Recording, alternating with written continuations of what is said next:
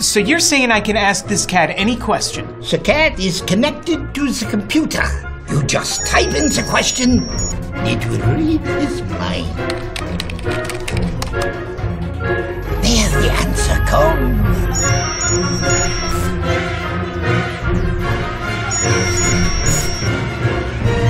You're the man! I've been looking for this for weeks.